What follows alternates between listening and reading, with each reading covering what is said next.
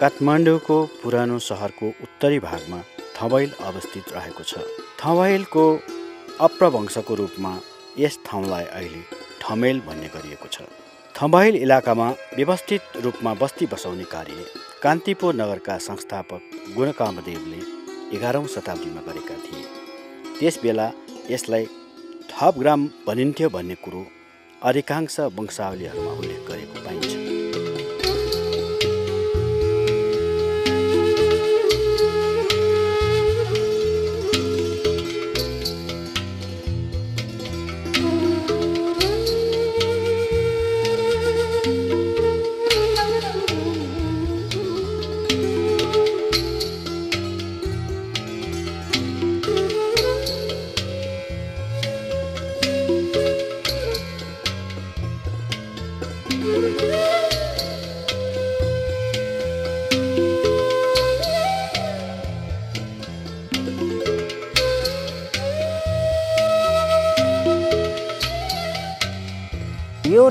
ठाउँको नाम यो मन्दिरको नाउँको चर्चा गर्दा अलि इतिहासतिर फर्कनु पर्ने हुन्छ।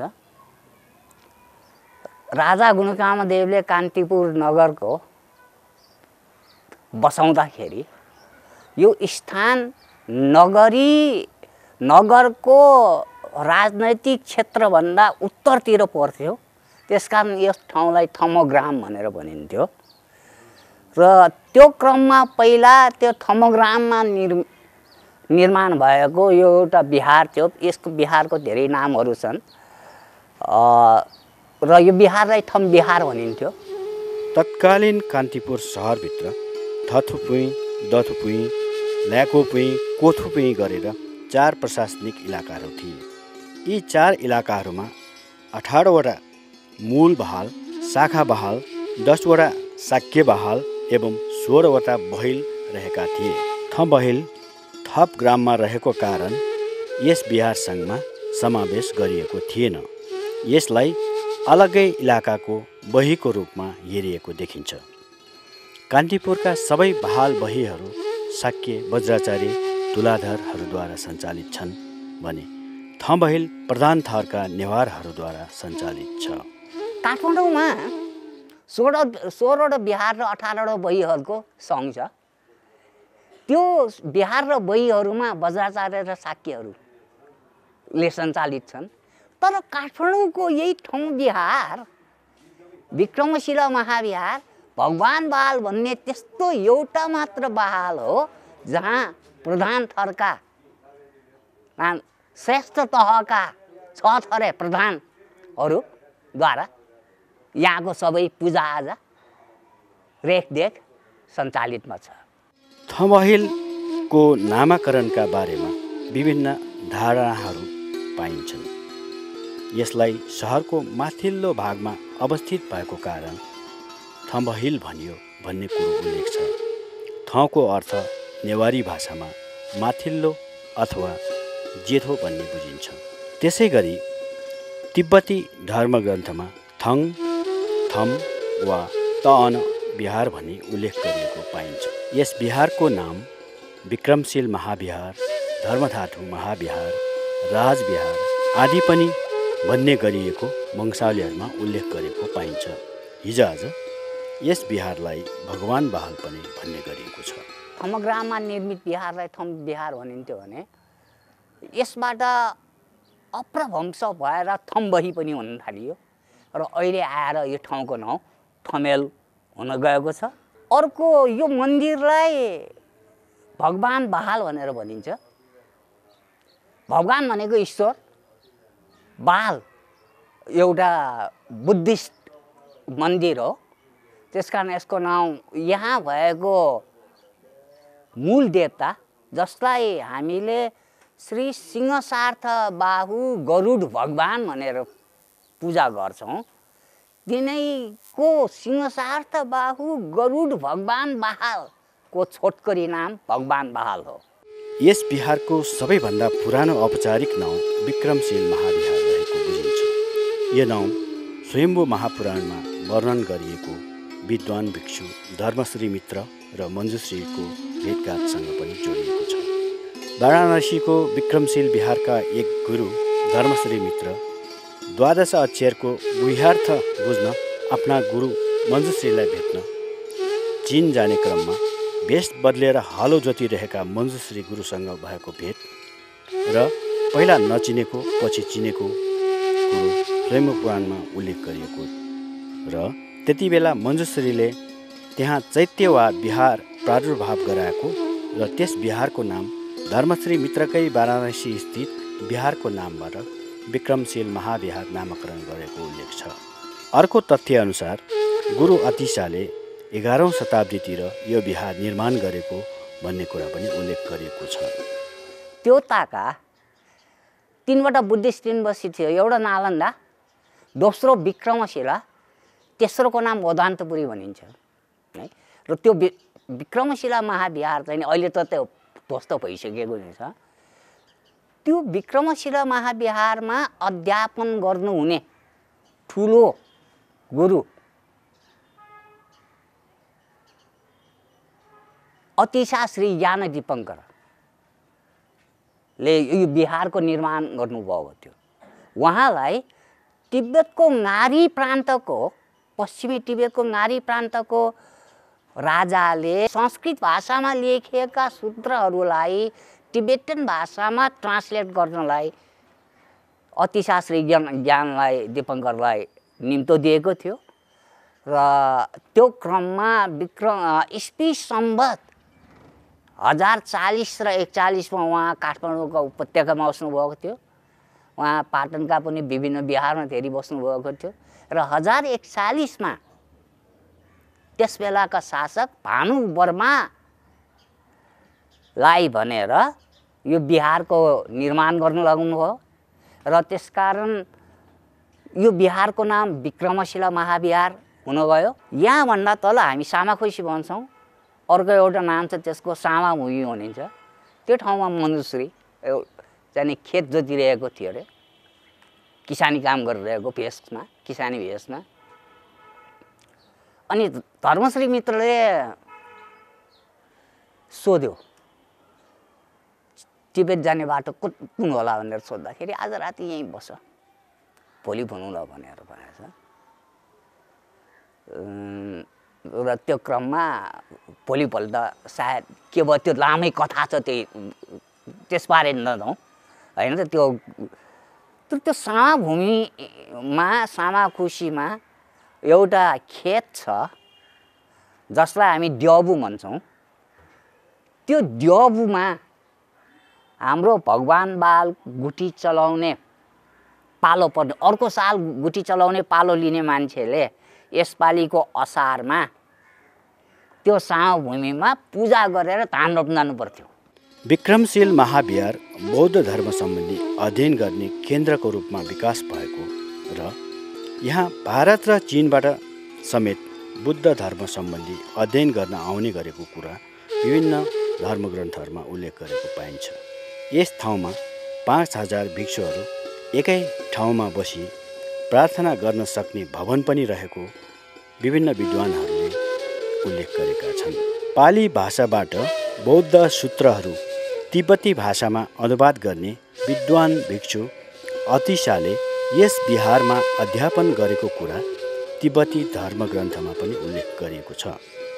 त्यसै गरी प्रकाण्ड बौद्ध विद्वान भिक्षु धर्मश्री मित्रले पनि यहाँ अध्यापन गरेको कुरो धर्मग्रन्थहरूमा उल्लेख गरेको पाइन्छ। कालान्तरमा केही समयपछि यो विक्रमशिला महाविहार एउटा ठुलो बुद्धिस्ट लर्निङ सेन्टरको रूपमा पनि प्रचलित हुनु पुग्यो।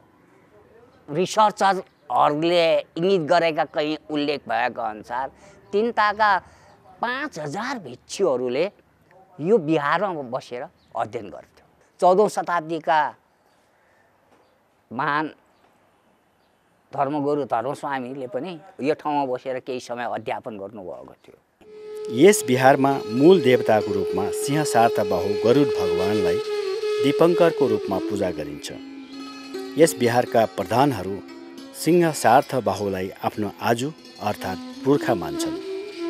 सिंह बाहुको व्यापारिक यात्रासँग जोडेर बनाइएको पौभा यस बिहारमा हरेक वर्ष गाई जात्राको भोलिपल्ट प्रदर्शन गर्ने चलन रहेको छ।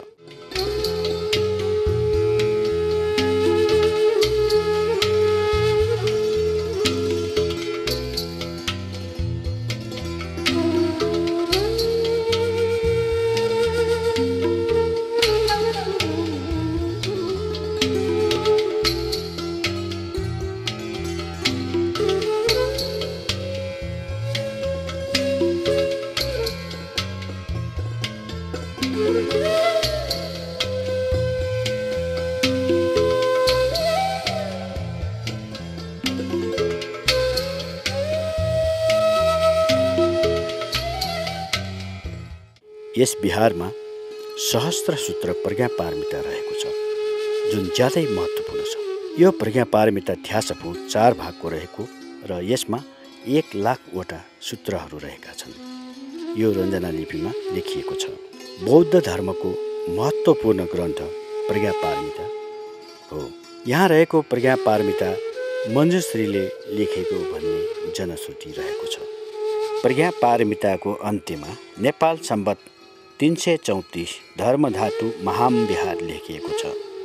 नेपाल सम्बत तिन सय चौवालिस भनेको इस्वी सम्बत बाह्र सय तेइस चौबिस हुन्छ। विद्वान भिक्षु धर्मश्री मित्र काठमाडौँ आई बसेको अवधि पनि इस्वी सम्बत बाह्र सय छब्बिसदेखि बाह्र सय छत्तिस बिच पर्छ। यस पवित्र ग्रन्थ हेर्न देश विदेशबाट धेरै श्रद्धालुहरू आउने गरेका छन्। प्रजापारमितालाई चाहिँ बुद्ध धर्मको अध्ययनमा मैले जानेको अनुसार the source of perfect wisdom भन्छ प्रफाउन्ड विस्डम यहाँ भएको प्रजापारमिताको पुस्तकलाई चाहिँ शत सहस्रीका भनिन्छ। शत सहस्रीका प्रज्ञापारमिता यहाँ भएको पुस्तक अल टुगेदर चारवटा भोल्युममा गरेर एक लाखवटा सूत्र छन्। त्यसकारण हाम्रो संस्कृतमा शत सहस्रीका वान हन्ड्रेड थाउजन्ड प्रजापारमिता नाम गएको र सबैजसो सुनका मसीले लेखिएका छन्। दुई तिन पाना चाँदीका मसीले लेखिएका छन्। त्यो लेखिएको पत्रलाई भोजपत्र भनेर भनिन्छ। र त्यो प्रजापारमिता यहाँ भएकोलाई चाहिँ नै टिबेटन बुद्धिस्ट चाइनिजहरूले पनि वंशी भूषाले लेख्यो पुस्तक दर्शनमा सूत्र हो आई वान सी सूत्र भनेर। त्यो पैसातिर एकचोटि दर्शन गर्नलाई मात्र पनि केही रकम हाम्रो बालको अफिसमा बुझाएर दर्शन गर्ने गर्छ। किनभने यो सूत्रको यहाँ भएको पुस्तकलाई ओरिजिनल भनिन्छ भनेर मानिएको छ। त्यो पुस्तक जनै पूर्णिमाको आठ दिन अगाडिदेखि दस दिन लगाएर पाठ गरिन्छ। चारवटा बिहारका गुर्जुहरू आएर हरेक बिहारले एउटा एउटा भाग पाठ गर्ने चलन छ। भगवान् बाहालको कलात्मक मूल ढोका नै थबैलको मुख्य देवताको प्रतिस्थापित गरिएको मूल चोक जाने ढोका हो।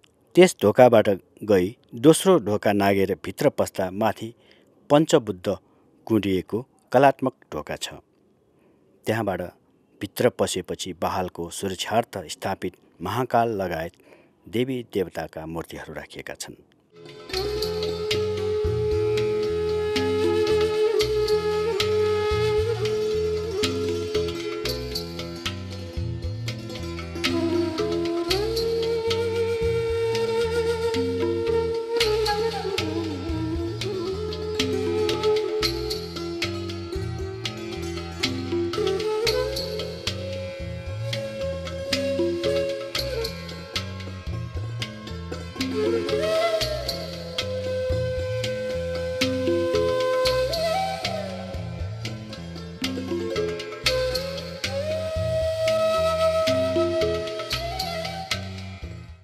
त्यहाँबाट अगाडि बढेपछि मूल चोक आउँछ।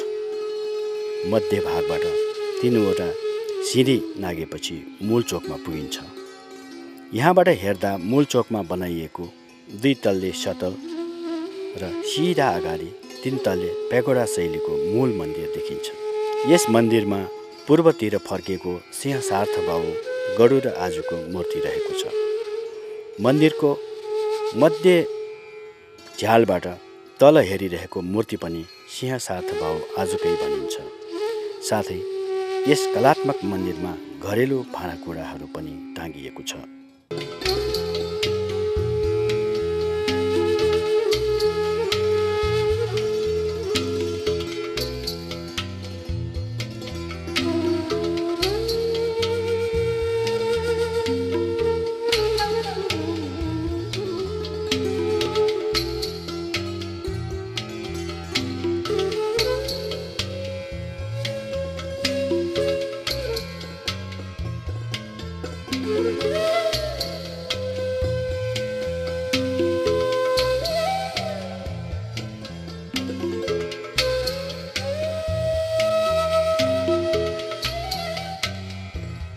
मूल चोकको दक्षिणतिर उत्तर फर्केको अक्षव्य बुद्ध मूर्ति छ जसलाई यस बैलको क्वापाले भनिन्छ। यस चोकमा मुख्य मूर्तिको अगाडि चारवटा चैत्यहरू रहेका छन्। साथै यहाँ प्रताप मल्ल र पार्थिवेन्द्र मल्लका शिलापत्रहरू पनि रहेका छन्। तिनीहरूसँगै डेढ दुई फिट अग्लो वेदीमा धातुको मण्डल पनि छ। धर्मधातुमाथि वज्र राखिएको छ। यहाँ भुइँमा भएको एक मण्डलामा दिनहुँ भुजा चढाउने गरिन्छ।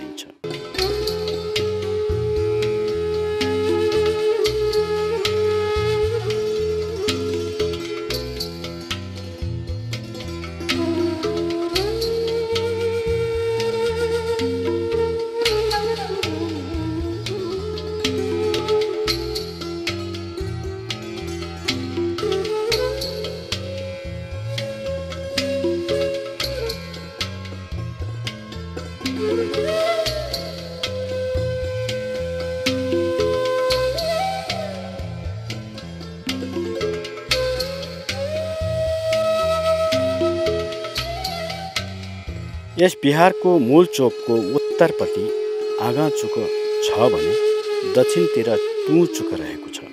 आगाचुक यहाँ रहेको ठुलो चोक हो। यस चोकमा एक लिच्छवीकालीन मूर्तिविहीन खोपाहरू मात्रै भएको चैत्य रहेको छ।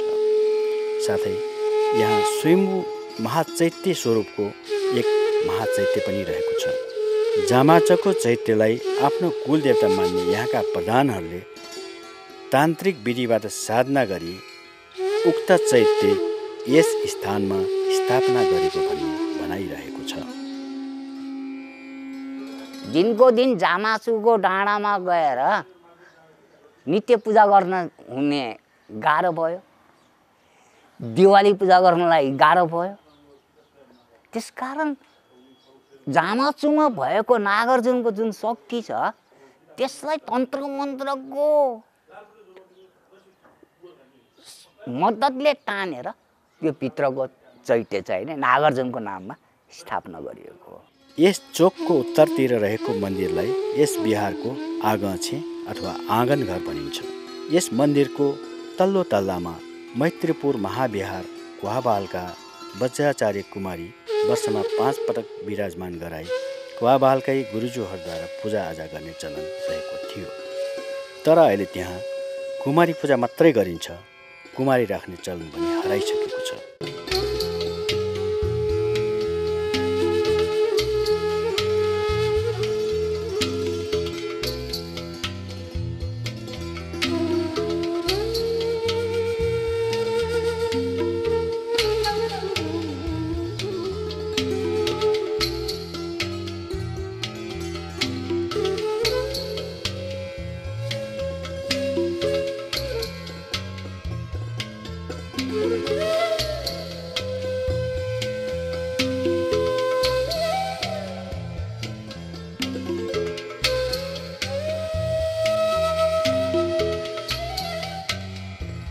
तुचुकमा तिनवटा साना चैत्य र एउटा इनार रहेको छ। यस इनारबाट झिकेको पानीले बहीभित्र रहेका देवता अर्थात् मूर्तिहरूको स्नान गर्ने चलन थियो।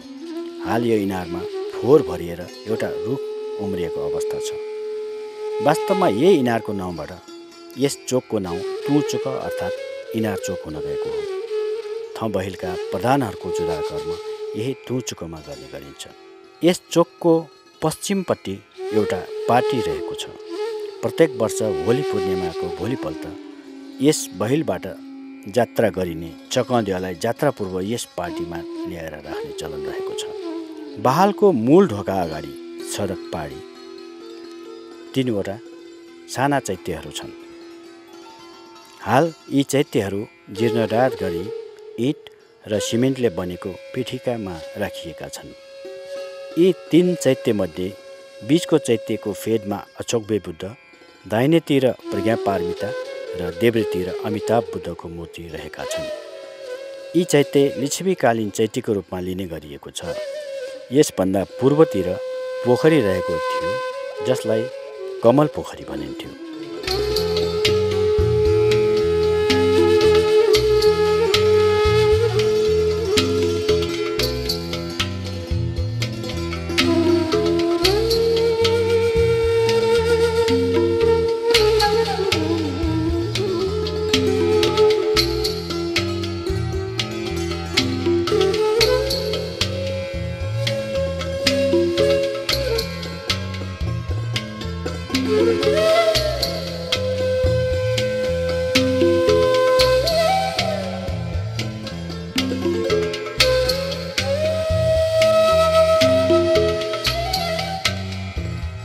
अध्ययनअनुसार यस बिहार लिच्छवी कालमै बनिसकेको देखिन्छ। विभिन्न कालमा आइरहने भूकम्पका कारण भत्किएको हुन सक्ने अनुमान गरिएको छ।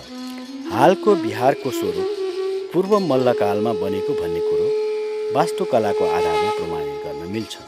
पछि प्रताप मल्लले नेपाल सम्बत सात सय पचासीमा यसको जीर्णोद्धार गरेको कुरा शिलालेखमा उल्लेख गरिएको छ। पूर्व मध्यकालमा पटक पटक आक्रमण अनि गरी ध्वस्त भइसकेपछि पुनः निर्माण गरेको चाहिँ पूर्व मध्यकालमा पुनः निर्माण गरेको यो बिहार हो तपाईँको होइन।